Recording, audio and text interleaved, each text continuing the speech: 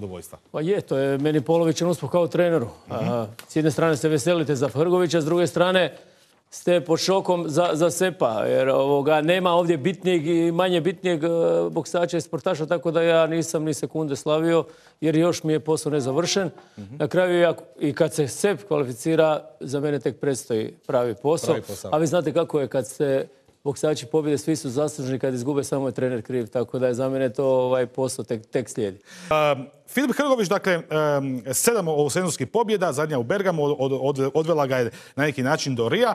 Uh, svjetski juniorski prvak uh, koji želi medalju i na olimpijskim igrama. Uh, strahovito ono koga poznajemo ga, ali strahovito jedan mentalno jak čovjek, sportaš, muškarac, koji kad nešto sebi zacrta nema njemu da on to ne napravi. Pa u stvari se izgradio kroz ovih 7-8 godina, 8 godina, 9, čak evo on je sa, sa nekih 13 godina došao kod mene. I mi uglavnom, pa kad je na prvo svjetsko prvenstvo otišao, otišao da praktički sa nekih desetak mečeva kao početnik, nismo razgovarali o medaljama, razgovarali smo o svjetskom, svjetskom zlatu. Zato što ja njima kažem da se postoji samo prvo mjesto u boksu. Sve ostalo je prvi zazivač, drugi zazivač. Da, da. Tako da ovo su malo grubo, ali mi kažemo da su to, je utjeha za gubitnike srebra, bronce, nekakva mjesta, to ne postoji.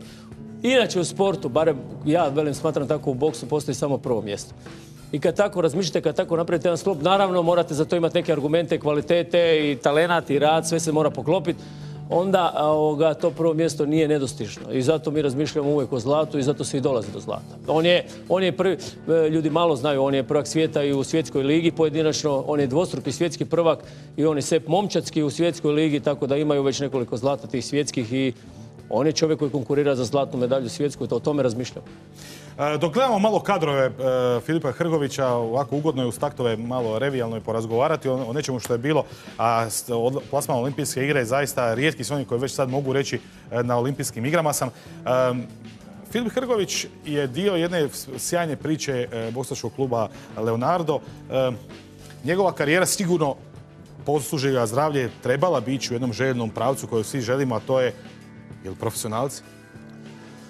Pa, bez, svakom je to cilj u profesionalnom boksu. Be- mislim da, gledajte, on neće nikada moći u amaterskom boksu naplatiti e, Svoj rad. Ne, mi smo se dobili, on je već četiri ili pet e, zemalja mu je nudilo državljanstvo. Sad je zadnje Kanada, prije Kanada. mjesec dana ponudilo državljanstvo i mi to nismo puno raspravljali o tome i one fore sad dolaziš olimpijskom pa sad nešto se cijeni kada to, to, to nismo radili ili je to neko ispod časti nam. Ovoga, znamo kakva je situacija i u sportu i u državi, tako da nema potrebe tu sad raditi neke cirkuse. On ima priliku da ode, za razliku od drugih sportova koji su tu možda i uskraćeni, evo momci su tu bili, njima je veslanje, sve oni dalje nemaju, a mi imamo još taj profesionalni boks gdje će se čovjek ako Bog da moći naplatiti.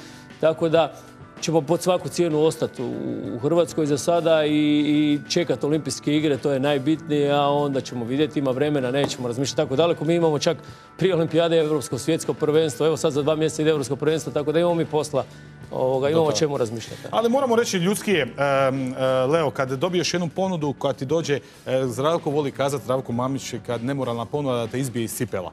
E, Kada ti sigurno ponuda sjevne, ko- kad govorimo sad konkretno o Kanadi prema Filipu Hrgoviću, to nisu dođi pa mi ćemo ti kupiti tenisice i daćemo ti jedan paket dobre opreme. To su ozbiljni novci, ozbiljni uvjeti prije svega u pitanju.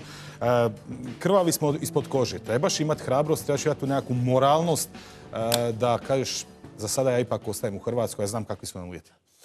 Pa gledajte, kod nas se i inače priča o uvjetima da ćemo ti neku opremu i ovo ono što smo mi odavno prešli. Mislim, ne treba nam oprema, ne znam šta ćemo s njom. Mislim, nema, nema potrebe. To treba ovoj djeci ili kad smo bili, kad je on bio klinac, onda niko ništa nije nudio. Ovoga, m, treba hrabrosti, ali kažem, e, imamo jedan, imamo jedan, jedan uvid šta će se tu događati i normalno da vi uvijek riskirate. Ne? Vi, vi se sjećate možda da je Lennox Lewis, on je boksao za Englesku, dobio je ponudu od Kanade, od boksa olimpijske igre za Kanadu, osvojio zlato, vratio se ponovo i uzeo englesko državljanstvo. Znači, samo je biznis bio u pitanju, nikomu to nije zamjerio.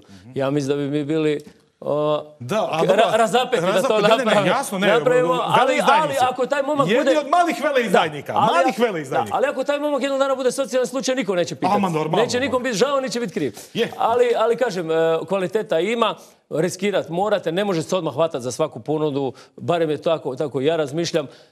Bilo bi lijepo da on odboksa to za Hrvatsku, a onda i da kao Hrvat nastavi u profesionalni boks, jer nama treba nakon Mate Parlova jedan pravi svjetski prvak i, i to je talena, to je čudo jedno koje se rađa svaki možda 50 godina.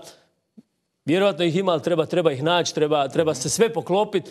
E, u, njemu sad imamo tu jednu jednu buduću nadolazeću zvijezdu, ali kažem, treba samo gledati, treba puno raditi, a ovoga ponude će sukladno rezultatima i dolaziti, a velim, najidealnije za to profesionalni bok sada o tim državljanstvima nećemo razmišljati. Kad imaš e, sjajne goste, onda svaki put kad pogledam na sat vidim da, kako nam vrijeme ide, a htio bi još da ne, da ne završimo ovu temu. E, Kakav je njegov status? Kakav je vaš status boksača? A sad govorimo o Filipu Hrgoviću.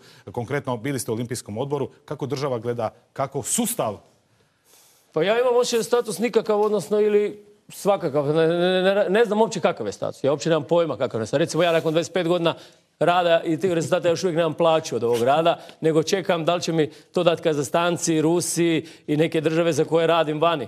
Razumijete, jer ovdje mi smo u stvari ovaj rezultat napravili uz maksimalno kočenje. To mogu sad javno reći. Maksimalno se nas se kočilo ovdje, pogotovo ljudi iz boksa.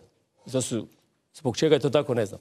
Međutim, ovoga, neće se nas moći, mislim, niko zaustaviti ako ne može vas niko zaustaviti ako vi hoćete i ako hoćete raditi. Ali bi bilo lijepo da je bio poguranac, razumijete? kako ne? Da, da, da vas Kako se ne? podrži. Kako Tako ne? da, ovoga, nemam pojma kakav nam je status. Evo, nemam pojma. Da. Leo, šta ćemo sa Sepem?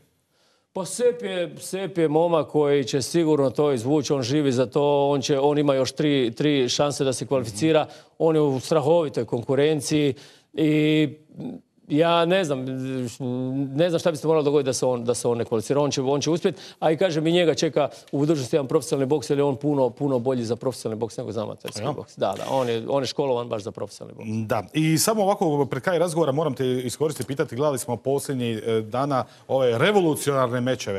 E, e, je li to, na kojoj razini trenutno sada taj profesionalni boks kad govorimo u kontekstu nekih drugih borilačkih sportova koji definitivno uzimaju svoj kolač i mjesto pod suncem?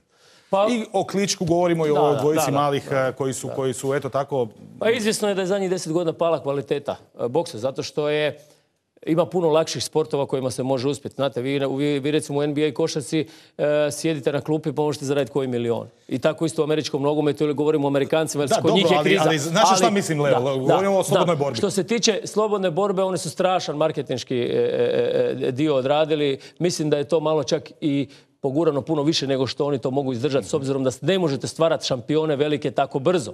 I, i to će s vremenom doći se, izlivenirat će se. Tako da i boks, boks ima jednu tradiciju, mislim da ga niko nikada neće stići.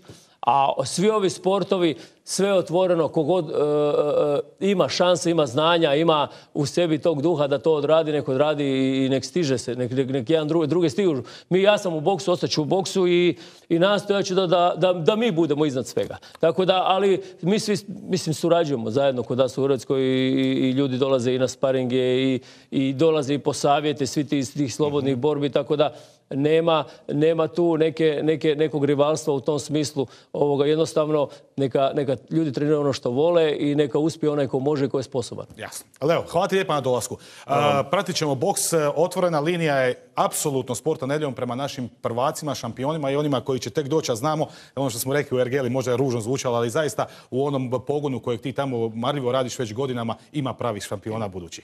Pratit ćemo vas. Hvala vam.